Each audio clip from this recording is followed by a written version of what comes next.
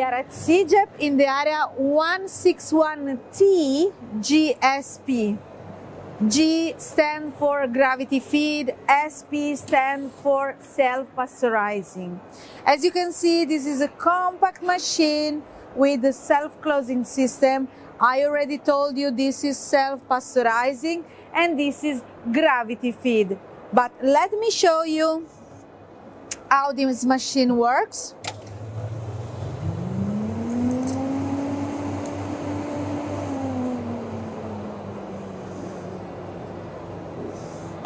The gelato looks perfect.